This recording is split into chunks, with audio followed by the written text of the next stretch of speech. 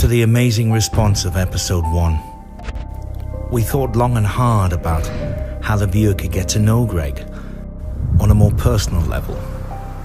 So, two friends sitting in front of the fire chatting, completely unedited. He does, he blows my mind up. Coffee with the King. So, we've refilled our coffee. Mm-hmm. We put another log on the fire, Yep. which isn't doing that well, actually. and uh, let's see what we're going to talk about next. Yeah. Yeah. So I was getting some questions from the audience uh, as to meeting Donald Trump on the steps of the Parthenon. Yeah, this is And people keep asking about it. It's kind of, you know, it's not something I'm sort of going out to stay to say, you know, in a big way. It's just something that happened while I was in I was in Boston, and then uh, um, Esoteric CIA. They do have an esoteric division.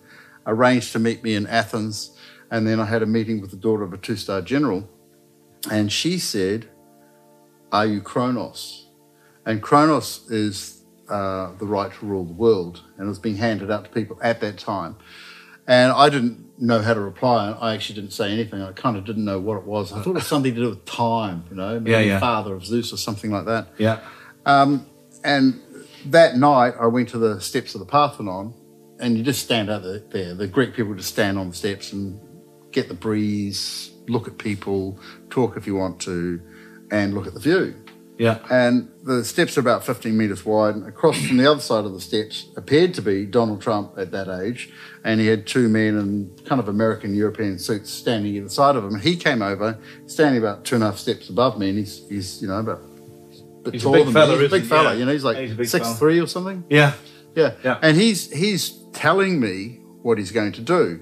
But he's he's like imbuing me with the information, right? He's talking to my chest, if you know what I mean. Yeah, you know what I mean. When someone's actually, you Yeah. know, the uncle's telling you this is how it is. Yeah. So he's doing that to me, and I'm sort of going like this, you know. And um, then after that, Esoteric CIA took me to Patmos. Where's the that? next That's day. Patmos, island, is, it's a? Greek island about. It's off Turkey. It's about 60 meters, 60 miles south of Ephesus. Oh, yeah, yeah. And I've then been they there. took I me know to- where that is, yeah. Then they took me to Ephesus and to all the Christian sites around Turkey, Yeah. including the Hagia Sophia. So in Patmos, they were saying, you know, do you feel anything? Do you feel anything? You mean, do you feel anything about the spirit, the, the atmosphere? Yeah, yeah, yeah. Because I later found out, I didn't know at the time, that um, uh, Revelation, which is the last chapter in the Bible, was purportedly written in Patmos. Ah. Right? And I, I said, look, I didn't feel anything. And from what I found out since is they were taking a few people to Patmos, Esoteric CIA, to see if they were the one who had either written Revelation or who Revelation was about. Huh. Right? And I didn't feel anything. And it was only 25 years later that I actually found out where Revelation was written. And, And and, and then and, and then that was 2013, 14. And then um, it wasn't written in, in, in Greece? no, no, no, it was written in, in the Algarve. Ah. um, which is also known as the Garden. Um, and that's, yeah, so, and that's where the End Times Palace was as well, um, which is also called Carvalhal Palace, which is also called Stoy Palace. Mm-hmm. Um, it's actually written Estoy. And I believe that Estoy, que estoy is Spanish for I am that I am. Yeah, estoy. Yeah, I estoy. am. I am. Yeah. So, you know, the famous line in the Bible, the Shakespearean line, I am that I am, Yeah. actually names Estoy Palace. And that was hugely connected to the end times. Um, so- Which you've mentioned that this is where we are. well, I ended up being chosen the next year to represent the end times, and then which lasts 40 days. And I've codified all the numbers on a chart, which I can give you. And then I was also chosen to represent the New Age, which is the highest honor.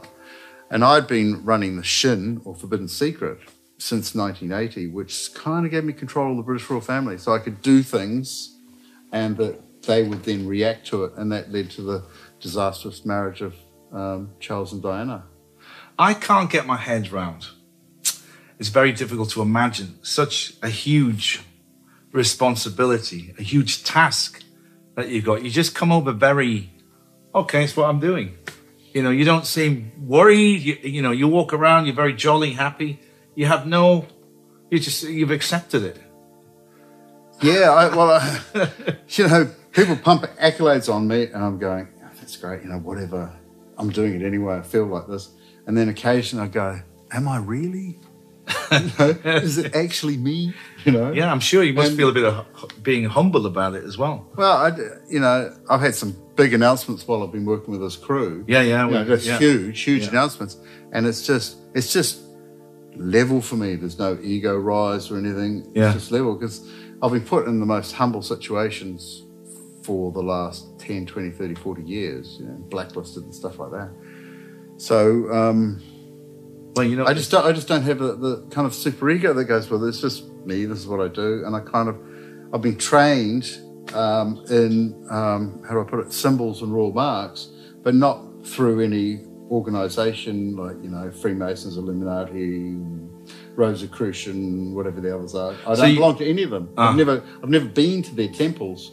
You know, all of my initiations have been natural. Yeah. So, you know, when people show me royal marks or religious marks, a lot of them I get straight away. I understand them. Mm-hmm. And I've ended up with some of the most powerful royal marks in the British Empire and in North America. And so, one of the one of my responsibilities is to join kingdoms, join nations, and join time. See, th- this is something that comes up a lot. People are saying, you know, do we really need a new king? Because they associate the word king with power and dominance and control. And I've noticed with me getting questions like that. So it could be something worth explaining this, I think. Yeah, a lot of people say, "Oh, do I have to give over all of my power to you now that you're king?"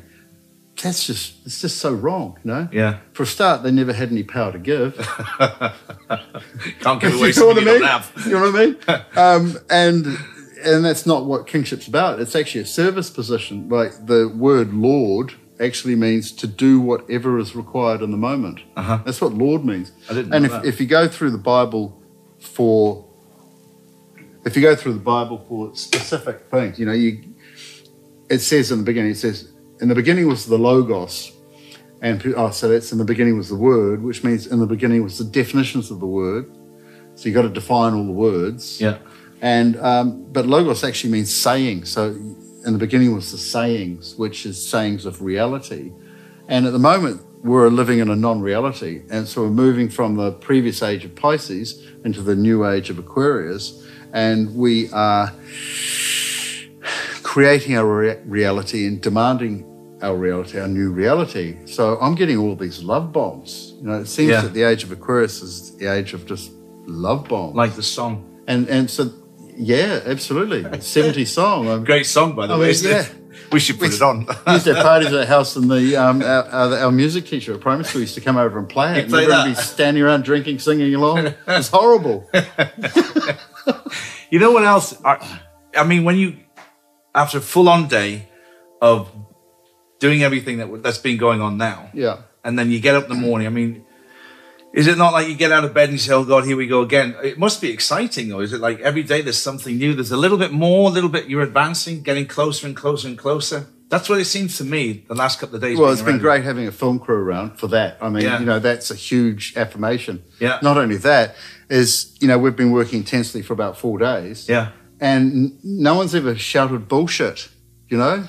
No. You know, um, you know what I mean? And you're, like, you're a big burly fella. The, the other guy's a big burly Lee. fella. You, you, you're big fighters and that. And No, you he is. You kind of, you kind of um, burly real men, you know? Yeah. And you just you just ask more, and they tell you more, and you get a bit more activated. You Yeah. integrate a bit more. You go off and have a chat by yourselves. Yeah, yeah, go, yeah.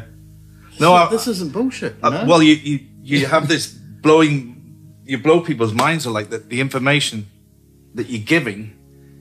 By the see, what happens is you'll hit me with something, Yeah. and then I'll go okay, and I'm processing it, and then you've already advanced Yeah. five or six points. I'm going okay, okay, okay. So really, you Yeah. need someone walking behind me with notes, but yeah, it's taken me a good couple of days to get it. Yeah. I have to admit. So Yeah. but the amount of knowledge you've had. What do you do for fun? I mean, what do you do to relax? You can't surely be doing all of this 24, seven days a week.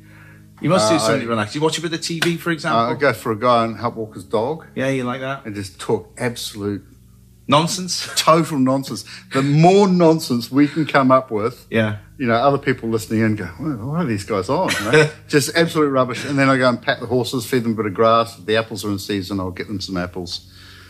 and uh, yeah, just walk around do nothing. But Because bare, you, you must, barefoot stuff. you've got to have that escapism to take yourself out of it, you know. Oh, I'm good at that. I can take you on an escapism tour if you like. You know, um, I saw in amongst all of this, you had some books. How many books have you written? Fifteen. 15. That's a lot. How, how, over how many years? Uh, 20. 20 years. Yeah. I wrote four books in one year. One of them was called How to Take Over the World, a Right Royal Con.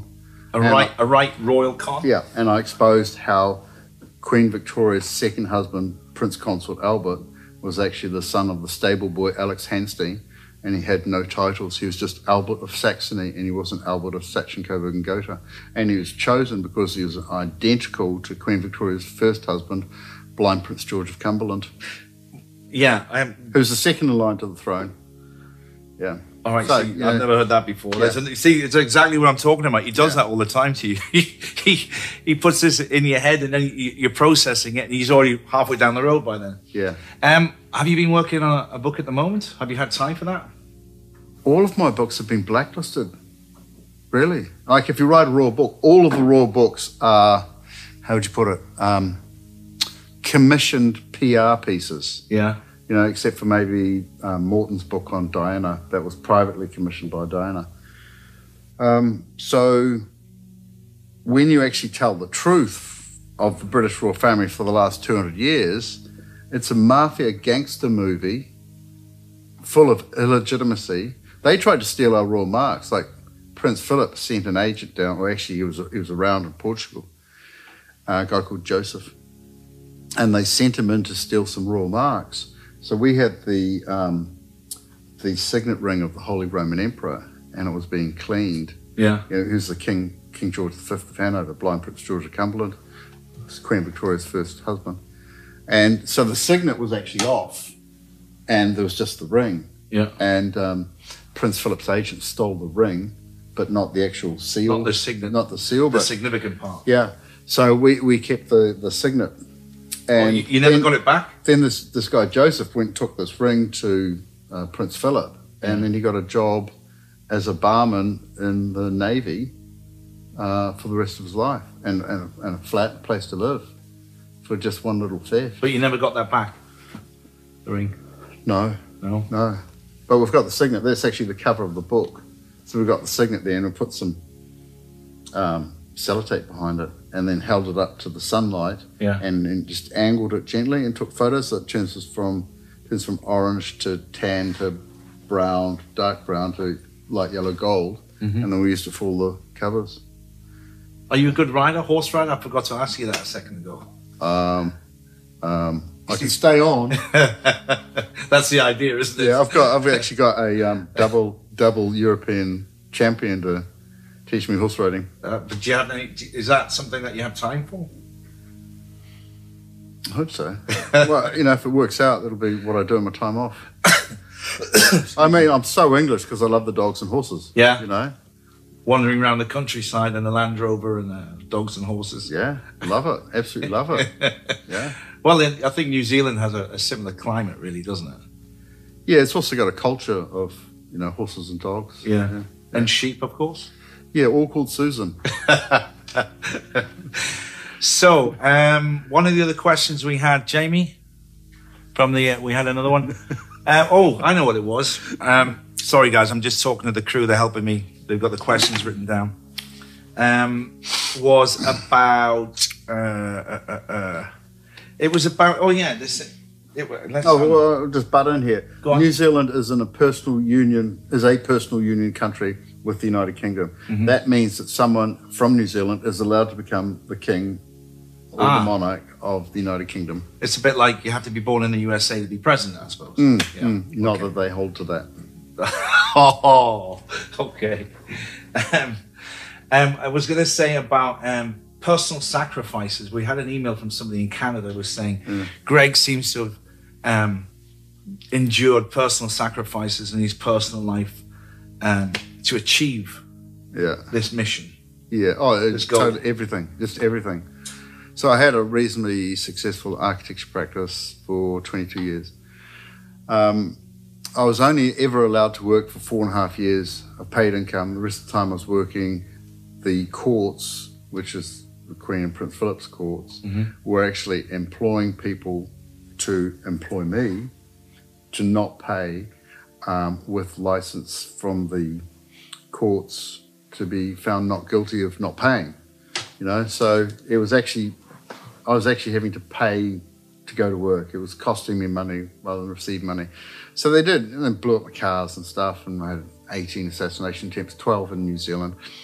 And I ended up taking the president of the Law Society in Auckland, New Zealand, to court, to the High Court, and exposing him as Prince Philip's agent, which he admitted to in the High Court. Really? Yeah, yeah, yeah, yeah, yeah. Wow.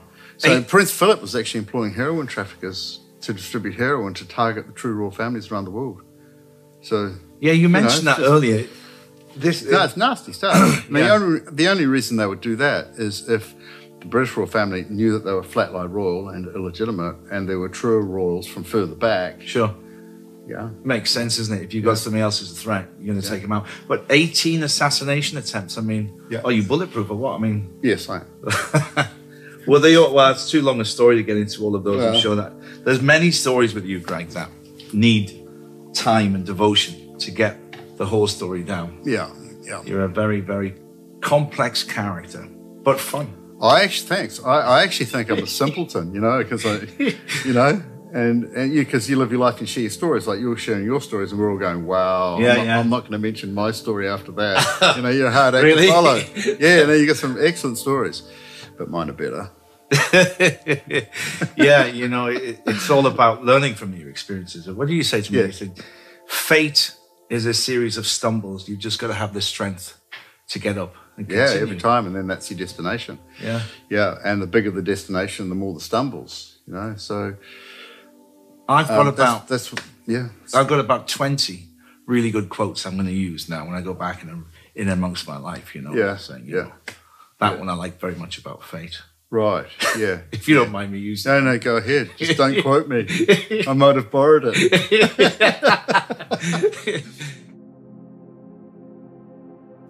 On July the 9th, 2020, Joseph Gregory Hallett signed the final declaration to take control of the throne of the United Kingdom.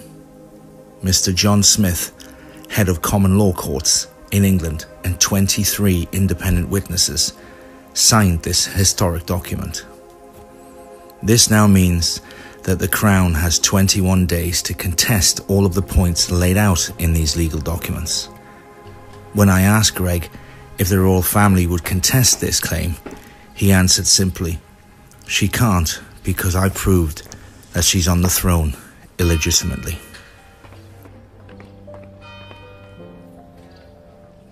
Unfortunately, we've come to the end of our first series of interviews, The Hidden King with Joseph Gregory Hallett. But the information that Greg retains about biblical prophecies, world historical events, and the real truth about the royal family needs to be documented. I hope that we've helped you connect in your own personal way with Greg during these interviews, and you feel what many people feel. He's a man on a very special journey, but we've so much more to learn from him.